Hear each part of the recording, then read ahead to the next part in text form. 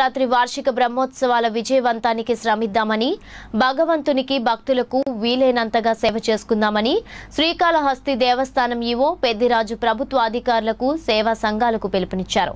ఈ నెల ఆరవ తేదీ నుంచి ప్రారంభమయ్యే మహాశివరాత్రి వార్షిక బ్రహ్మోత్సవాల దృష్ట్యా సమావేశాన్ని ఏర్పాటు చేశారు.